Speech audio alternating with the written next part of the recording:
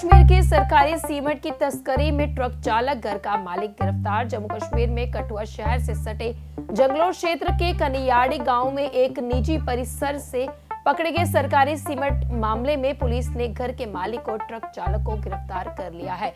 मंगलवार को पुलिस ने एक सूचना के बाद सरकारी सीमेंट के 250 बैग बरामद किए थे। बताया जा रहा है कि सीमेंट बैग की तस्करी से प्रभावशाली लोग जुड़े हैं, जिसके चलते पुलिस ने अभी तक नाम सार्वजनिक नहीं किए हैं। हालाँकि मामला दर्ज कर कार्रवाई जारी है। जम्मू कश्मीर प्रदेश में बढ़ती जा रही डेंगू की मरीजों की संख्या अब तक छह लोग आए सामने। प्रदेश में डेंगू के मरीजों की संख्या लगातार बढ़ती जा रही है। जम्मू मेडिकल कॉलेज और अन्य अस्पतालों में उपचार कराने वालों की संख्या लगातार बढ़ती जा रही है। इनमें अधिकांश डेंगू के साथ साथ वायरस बुखार से पीड़ित है। हादसे में सेना के जवान बने देवदूत एयरलिफ्ट कर घायलों को पहुँचाया जीएमसी जम्मू। जम्मू कश्मीर में डोडा ज़िले के ठाटरी में मेटाडोर अनियंत्रण होकर खाई में गिरने से अब तक की रिपोर्ट के अनुसार तेरह लोगों की मौत तो हो गई है। हादसे में पंद्रह से अधिक लोग घायल हो गए हैं। इनमें से सात को एयरलिफ्ट करके जीएमसी जम्मू लाया गया। हादसे की जानकारी मिलने के बाद आसपास के लोग घायलों की राहत और बचाव के लिए मौके पर पहुँचे। उन्होंने सेना के जवानों के साथ मिलकर घायलों को खाई से निकाला जिसके बाद उन्हें जिला अस्पताल पहुँचाया गया।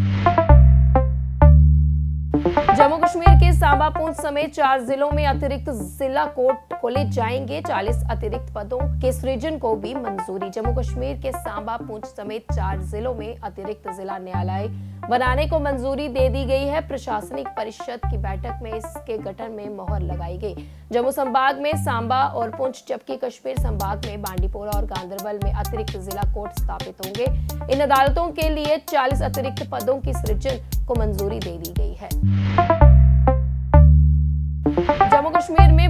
अगले साल से पढ़ाई जाएँगी। शहीदों की कहानियाँ पाठ्यक्रम में शामिल होंगे वीरों की गाथाएँ। जम्मू कश्मीर के उपराज्यपाल मनोज सिन्हा ने कहा कि प्रदेश के बच्चों को अब कश्मीर के युद्ध असली नायकों से परिचित कराने की ज़रूरत है। अगले साल से जम्मू कश्मीर के बच्चों को मेजर सोमनाथ शर्मा, मुकुल शेरवानी, ब्रिगेडियर राजेंद्र सिंह और लेफ्टिनेंट कर्नल राय की कहानी स्कूल के पाठ्यक्रम में पढ़ाई जाएँगी।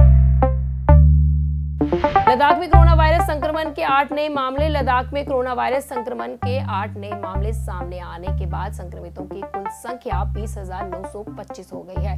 जानकारी के अनुसार, पिछले साल महामारी फैलने के बाद से लद्दाख में कोविड 19 से 208 लोगों की मौत हुई थी। इनमें से ले के 150 और कारगिल के अट्ठावन रोगियों की मौत हुई। 25 दिन बाद शाहरुख खान के बेटे आर्यन खान को मिली जमानत। अभिनेता शाहरुख खान के बेटे आर्यन खान को आज 25 दिन के बाद जमानत मिल गई है।